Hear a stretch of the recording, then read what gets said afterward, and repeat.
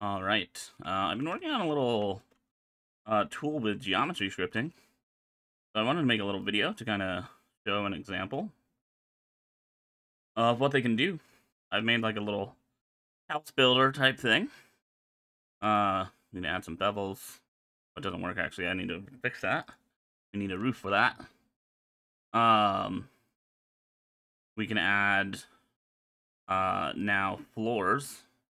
Uh, you can tell that these are areas that these are little cutout meshes I used so we can cut out areas of the mesh. Um, and then I've got it where we can just drag and drop windows. Uh, I want it to be where uh, like a door and a set of windows will auto spawn, uh, and maybe windows auto spawn per level, so that we can have it where uh, setting up a uh, like building template uh, can be relatively easy. Because that would be fun to just you know set this however long we want our building and then from there we can either uh, convert this into a static mesh write an editor or uh, use it for a template right? That's the end goal.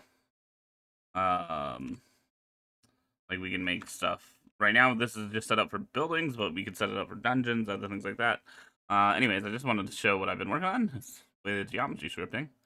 Uh, I'll probably be updating this and releasing it. That's mainly why I wanted to make a video.